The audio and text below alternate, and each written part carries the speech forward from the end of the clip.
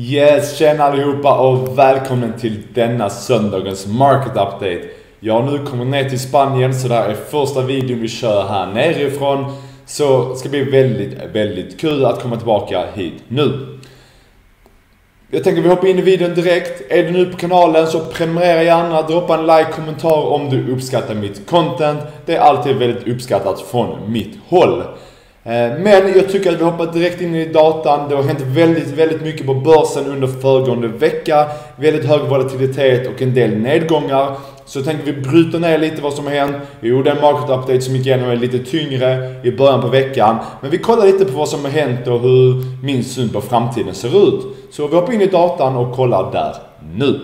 Yes, och vi har nu hoppat in i datan och jag skulle bara snabbt säga att 18.00 idag så lanserar jag min trading och investeringsmastergrupp som förmodligen många vet om. Så är du intresserad så var redo vid 18.00 för förmodligen kommer platserna att ta slut. Eh, som sagt, jag har en hel video om detta här så jag länkar ner i beskrivningen också vad mastergruppen kommer att innehålla om du är intresserad. Men den släpps som sagt 18.00 ikväll. Så om du är intresserad så är det det tiden som gäller. Nu hoppar vi in och kollar på marknaden. Det har hänt en väldigt, väldigt intressant nyhet under helgen som jag tänkte ta upp. Och det är att The House passes 1.9 trillion COVID relief bill and sends it, sends it to Senate. Så, vi har några nyckelpunkter här. The House passes 1.9 trillion coronavirus relief package. Which will be head to the Senate nu under veckan.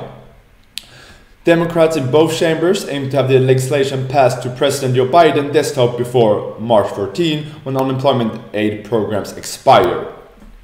The party is likely to pass the plan on its own as Republicans have questioned the need for another massive spending package. The biggest open question is how Democrats will handle the push for a 15 per hour minimum wage after the Senate parliamentarian ruled it could be not, not be included in the budget Reconciliation Bill. Så vad betyder detta på svenska? Jo, eh, The House, huset i USA, de har gått igenom den här 1.9 trillion relief package för alla amerikanska medborgare och de skickar den till senaten nu under veckan.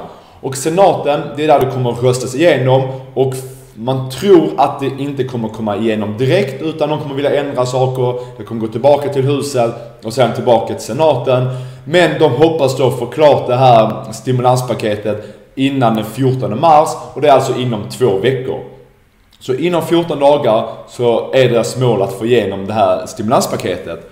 Eh, och får de igenom stimulanspaketet så kan det bidra med ganska mycket positiv momentum för börsen. Det är möjligt även att vi får lite mer positiv momentum även på måndag. Rent fundamentalt nu på grund av att den här nyheten har kommit ut.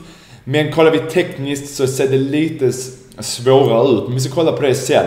Men rent fundamentalt så är detta väldigt, väldigt positivt för marknaden. Det är en positiv nyhet. Mer kapital i omlopp betyder att mer kapital kan komma in i börsen. Folk konsumerar mer, vilket gör att bolag helt enkelt går bättre. Så detta är en väldigt, väldigt positiv nyhet för börsen.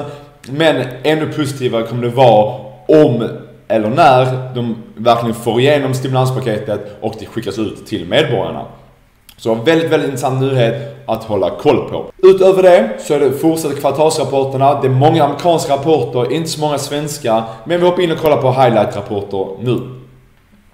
Så USA på måndag så är det väldigt, väldigt intressanta bolag. Vi har Workhorse, vi har NIO, vi har Berkshire, Berkshire Hathaway som är Warren Buffetts företag. Vi har Zoom Technologies, vi har Lemonade, vi har Novavax. Mm, det är de som jag tror är mest intressanta där. Kommer kolla väldigt noga på Workhorse, Workhorse, NIO och Zoom personligen. Hoppar vi över till tisdag så ser vi bolag som Target, Fubo TV, Viva, Eh, Nordström, också ett stort bolag. Eh, men det är nog det mest intressanta där. Hade nog kollat mest kanske på Target. Alldeles inte jätteintressant bolag för mig personligen. Hoppar vi över till onsdag så ser vi en hel del intressanta bolag. Vi har Snowflake. Vi har Splunk. Vad har vi mer? Det är de två som jag tycker är ganska intressanta där. Snowflake och Splunk, väldigt, väldigt intressanta bolag som ligger, två väldigt intressanta techbolag som är intressanta att hålla koll på. Så de vill jag absolut kolla på efter onsdagens stängning. Hoppar vi in i torsdag, då har vi bolag som Costco, Smile, eh, vad har vi mer? Slack, oh Slack är också ett intressant bolag att hålla koll på. Highlights på torsdag så hade jag kollat på Costco och Slack. Hoppar vi in i fredagen så är det inga bolag som jag direkt finner intressanta att följa specifikt för kvartalsrapporter.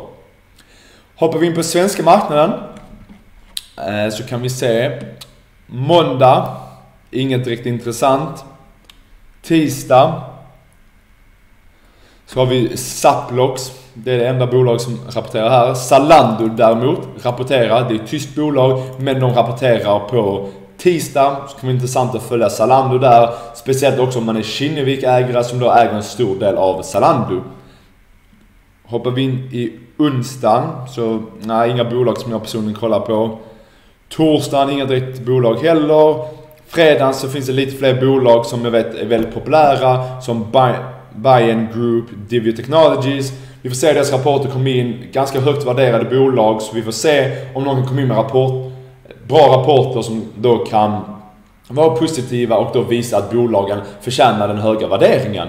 Så de här två bolagen, absolut intressanta att kolla på på fredag när de rapporterar. Det var då kvartalsrapporter. Hoppar vi in och kollar lite snabbt fundamentalt. Eh, de makrovänt nästa vecka. Måndag så kan vi se att vi har lite PMI-data från USA som kan vara intressant att kolla på vid 16.00. Detta är främst om man daytradar som detta kan vara intressant och bidra med volatilitet. Eh, så håll koll på det på måndag vid 16.00. Hoppar vi in i tisdag, inget jätteintressant.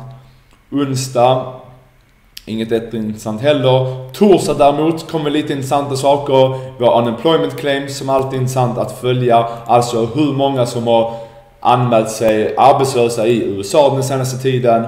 Utöver det så kommer även Fed Chair Powell att prata. Och det är alltid, alltid hög volatilitet när han pratar. Och han ska då diskutera ekonomin 5 över 6 på torsdag då. Och här kan ni se, due to Powell used to speak about US economy at an online event hosted by Wall Street Journal. Så det här kommer vara väldigt, väldigt intressant. Så torsdag 18.00, förbered dig på hög volatilitet när Powell ska prata om ekonomin. Så väldigt, väldigt intressant att följa på torsdag.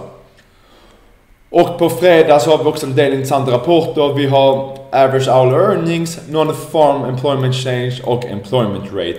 Här får man alltså exakt hur mycket unemployment procentuellt som fanns i USA under januari månad. Så väldigt, väldigt intressant och stor rapport med den exakta arbetslöshetsprocenten i USA. Så det här vill man också hålla koll på 14.30 på fredag.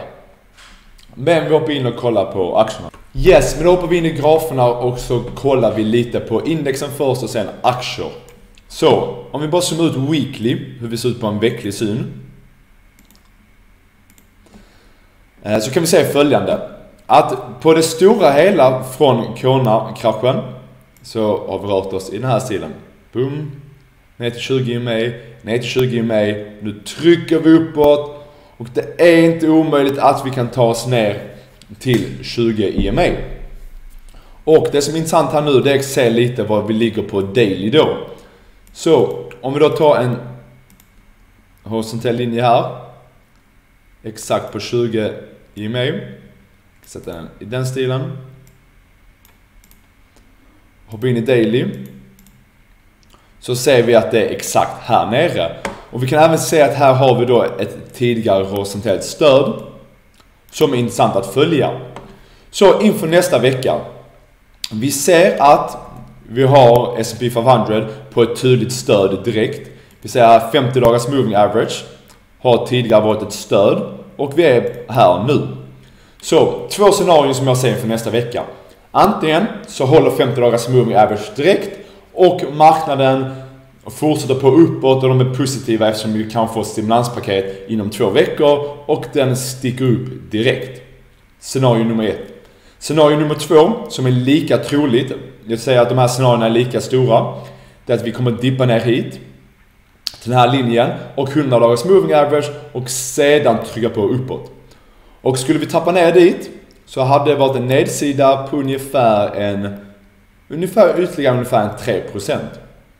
Så detta är de två scenarierna man vill bevaka under nästa vecka. Antingen på måndag direkt så börjar vi finna stöd vid 50 dagars moving average. Eller så kommer vi droppa lite mer neråt, ungefär 3% till 100 dagars moving average. Där vi även har ett tydligt horisontellt stöd och sedan pusha på uppåt. Så detta är nivåerna som man vill bevaka under nästa vecka. 50 dagars moving average direkt eller ett 3% till neråt till det horisontella stödet och 100 dagars moving average. Så håll utkik på det. För när väl indexet börjar vända, det är då aktier vänder också. Så först och främst index och sen aktier. OMX30. Som sagt, jag säger alltid OMX30 följer S&P 500 väldigt mycket. Skulle den också komma ner till sin 20 i maj så hade det varit ungefär en nedsida på runt 4,3% och vi säger att den har haft samma mönster. Och då hade vi hamnat någonstans, sätta en linje där, gå in på daily, då hade vi hamnat någonstans här nere. Jag tror dock att vi också bara kommer kanske falla 3% på OMX30 också. Och det hade varit upp här till ungefär 50 dagars moving average. 2,6% ungefär. Så kanske här att vi kommer ner på OMX30 runt 50 dagars moving average. Men som sagt, S&P 500 är där man vill lägga störst fokus. Låt oss hoppa in och kolla lite intressanta aktier och krypto och se vad man kan hitta intressanta entries under nästa vecka. Mycket av de här elbilsbolagen och förnybar energi har tagit väldigt mycket stryk för att de har haft övervärderade nivåer och folk har tagit vinster. Men vi börjar komma ner till väldigt, väldigt attraktiva nivåer. Soltech Energy är nere vid tidigare all time highs. Och när en aktie bryter en all time high så här starkt så brukar alltid förr eller senare komma ner till all time high igen och sedan finna stöd. Zoomar vi ut i weekly så ser vi det lite tydligare. Vi har här, vi har här och vi är här nu. Så här är mycket, mycket möjligt att Soltech kan finna ett stöd under nästa vecka och börja trycka på allt högre uppåt igen. Så att detta är en nivå som jag kommer att bevaka på Soltech direkt under nästa vecka. För att den är nere vid tidig all time high och det kan bli väldigt positivt. Så om S&P 500 nu håller på att vända direkt så tycker jag det är en intressant entry i Soltech med min syn. Som sagt, inget av detta är rådgivningar eller liknande utan det är bara mina analyser och mina åsikter. Eidos Vind, också ett sådant bolag, förnybar energi, som tagit väldigt, väldigt mycket stryk. De har tappat ungefär 36% och är också nere vid sin tidigare eh, högsta nivå här. Den här tidigare nivån här. Så Eidos Vind befinner sig också i ett område med väldigt mycket tydligt stöd. Så om vi då skulle bara göra en liten sån här zon istället. Så kan vi se här en nivå där Eidos Vind har vänt upprepade gånger och även haft ett tidigare all time high. Och här kan vi nu se att vi är på ett område med tydligt stöd. Så Eilus Vind också på bevakning direkt under nästa vecka. Personligen så gillar jag entryn i Eilus Vind lite mer då den har fallit ganska tungt och jag gillar setupen här mer. Så det är absolut någonting jag bevakar under nästa vecka. Nokia. Nokia kan också vara intressant att kolla på. De är en stark G... 5G, inte G5. 5G-aktör. De blev uppumpade här under Wall Street Bets. Nu har de rasat. Och jag tycker ändå de är på intressanta nivåer att möjligtvis göra ett, ett nytt tryck uppåt. Vi kan till exempel se att vi är på en ganska tydlig trendlinje uppåt här. Samtidigt som... Vi ska se. Om vi får in indikatorerna. Samtidigt som vi ser att Stochastic har varit oversold länge. Har precis vänt uppåt, ser bullish ut. Vi ser en MACD som håller på att vända. Där histogrammet håller på att vända till mindre negativt momentum till allt mer positivt igen. Ni ser hur det såg ut här när det började trappa ner och sedan kom positivt momentum och aktien rusar. Och det ser ut som vi håller på att få en liknande formation här i Nokia igen. Så Nokia är absolut någonting som jag tycker är intressant för bevakning under nästa vecka. Catena Media. Jag tänkte, jag har pratat om Catena Media flera gånger så jag tänker jag följa upp med min syn. Förra veckan, för exakt en vecka sedan, så sa jag att jag tog en entry, eller jag hade en entry från ungefär 30 dollar. Där jag skulle hålla över earnings för att jag tror att de skulle få en bra earnings för att andra bolag i samma sektor har haft väldigt bra rapporter och eftersom Catena Media jobbar att ta fram leads till de här bolagen som då presterat väldigt, väldigt bra så tyckte jag att de såg väldigt attraktiva ut att hålla över earnings. Och på onsdag under veckan så flög de upp över 20% och det blev en väldigt, väldigt bra trade. Jag kan slänga upp en bild på min trade här. Yes, så det var faktiskt en position, jag hade stängt lite med en position innan. Så den positionen jag länkar här var positionen som jag faktiskt tog bara någon dag innan. För att jag tyckte att earnings skulle vara väldigt, väldigt bra. Så det var min entry där. Catena Media, jag har nu stängt min position. Varför har jag stängt min position? Jo, eh, jag tycker den är uppe vid ett väldigt, väldigt starkt motstånd. Som ni ser här, den har tuggat här väldigt, väldigt mycket och sen slåtts ner. Och den håller på att tugga lite här nu igen. Kan den bryta över här stabilt, då kan jag vara bullish för en ny entry igen. För tillfället ser vi ut att ha ett ganska tufft motstånd här. Så jag var nöjd med min ungefär 25-procentiga profit och jag tog den här. Så Catena Media, jag bevakar om den kan bryta över 40 stabilt. För då kan den nu pusha på väldigt, väldigt starkt upp mot kanske 50 nivån. Upp mot kanske nivån här uppe. Men som sagt, behöver se en tydlig brytning av 40 först. Men som sagt, det var bara en liten update kring vårt case som jag kollade på förra veckan. Låt oss hoppa in och kolla på lite amerikanska aktier nu. Beyond Meat har tagit väldigt, väldigt, väldigt mycket stryk. Jag vill faktiskt kolla Fibonacci-nivåerna, se om det är på en intressant Fibonacci-nivå. Vi ska se. Fibonacci så ser vi faktiskt att den är längst ner på den här nivån. Ingen jättestark nivå som jag personligen brukar kolla på, så lite ointressant. Vi är dock på ett väldigt tydligt horisontellt stöd. Vi kan säga här, vi hade motstånd, motstånd, motstånd och när ett motstånd bryts så brukar det bli stöd. Eh, så vi kan säga här att vi har haft ett väldigt, väldigt tydligt motstånd. Så jag tycker att Beyond Meat ser väldigt, väldigt attraktiv ut här. Beyond Meat var även positiv under fredagen när väldigt många aktier tappar. Vilket i min syn är väldigt bullish. Så att Beyond Meat tycker jag är på väldigt, väldigt attraktiva nivåer för att göra en stark swing uppåt. Så Beyond Meat under stark bevakning för mig nästa vecka. Kraftigt översåld, som ni ser här. MACD ser bearish ut, men den är kraftigt översåld. Den är på ett tydligt stöd, så absolut bevakas av mig under nästa vecka. SQ. SQ är på en väldigt, väldigt fin uptrend. Väldigt, väldigt fin. Vi ska se. Vi kan säga här. Väldigt tydligt mönster. Tydlig uptrend. Och studsa så här. Och jag tycker den är på väldigt attraktiva nivåer för att kunna pusha på högre. Den har väldigt många riktkurser som ligger på mellan 260 till 300 dollar. Den har även riktkurser som ligger på lägre, runt 200. Jag tror även det kom in en riktkurs som satt dem på 150, vilket jag tycker låter helt galet. Men inte alltid de här riktkurserna är riktigt logiska, för man vet aldrig vad de kan ha för tankar bakom det. Vissa analysbolag kan sätta låga riktkurser för att de vill ta ner bolagen för att sedan kanske kunna köpa in sig på billigare nivåer och sedan höja riktkurserna efterhand. Så man vet aldrig varför de, sätter riktkurser. Men majoriteten av riktkurserna är en del högre än vad vi är nu. Och jag tycker vi har gjort en hälsosam dipp. Och vi har gjort en hälsosam dipp. Vi är väldigt översålda och jag tycker vi är på ett intressant stöd för att trycka på uppåt här. SQ Square håller då på mycket med Bitcoin, e-commerce och liknande. Och jag tycker de är helt rätt i tiden. Ett väldigt, väldigt bra bolag, både långsiktigt ur min syn och även för trading här. Så Square, absolut ett bolag jag gillar. Så att väldigt, väldigt fina nivåer. Zoom. Jag tycker Zoom har tagit ner sig till väldigt, väldigt attraktiva nivåer också. Vi kan se här att vi är på ett horisontellt stöd. Om vi tar upp den här. Vi befinner oss i en zon där aktien har vänt upprepade gånger.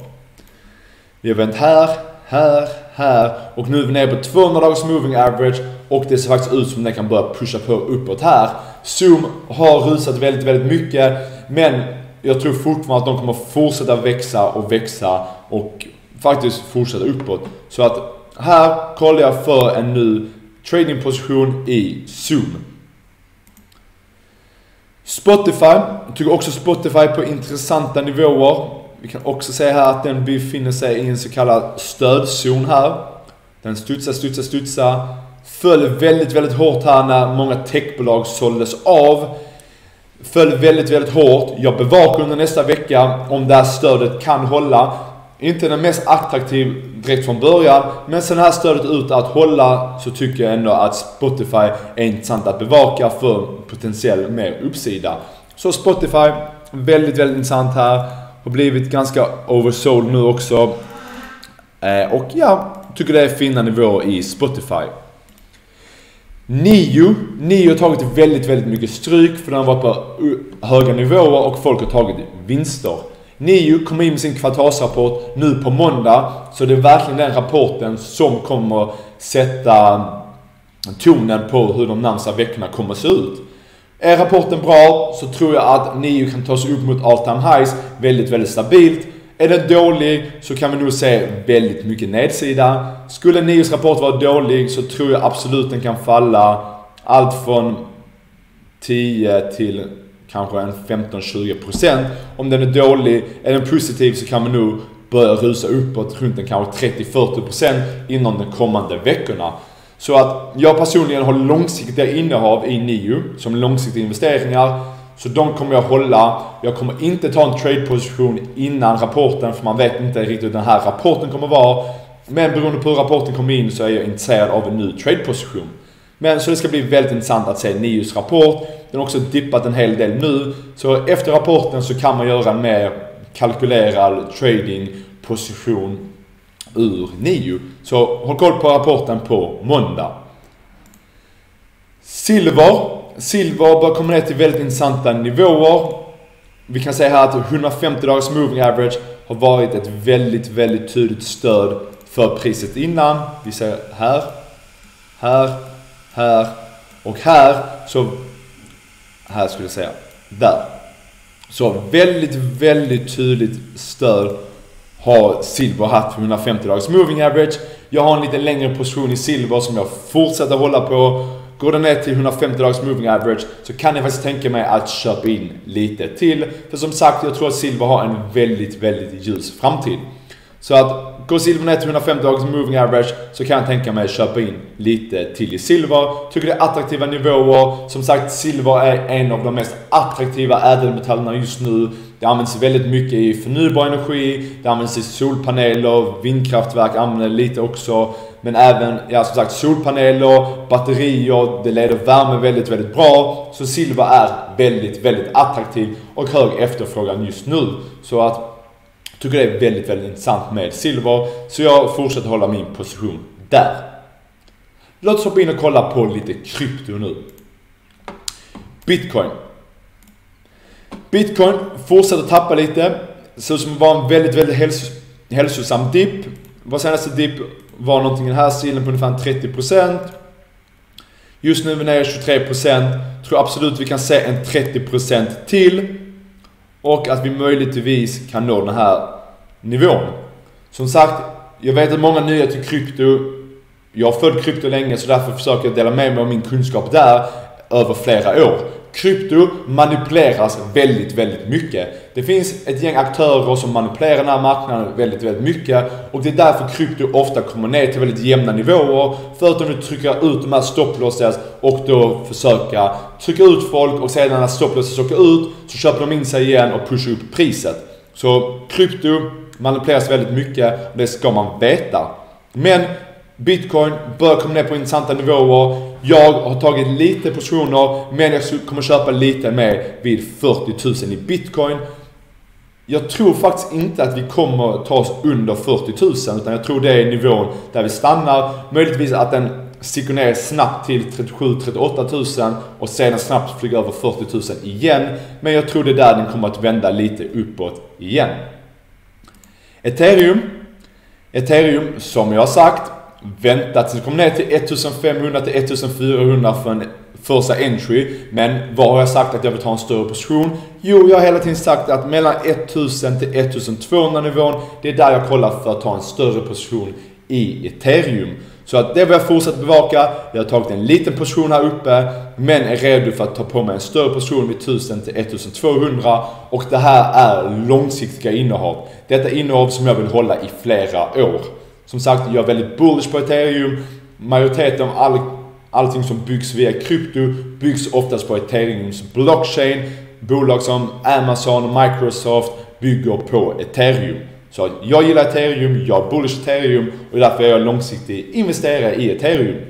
Så som sagt, bör ta lite mer positioner här. Är redo för att ta en ny större position i det här fältet här vad gäller ethereum. Yes, men det var denna market-updaten. Som sagt, lanserar mastergruppen ikväll 18.00. Är du intresserad av att ta del av mina trades och mina investeringar, kolla in den. Som sagt, kommer vara limiterade platser för vi ska testa ut det nu först. Så är du intresserad, kolla in den.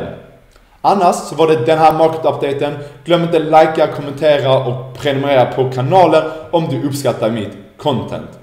Med det sagt, där var Robin Omega och jag säger ciao!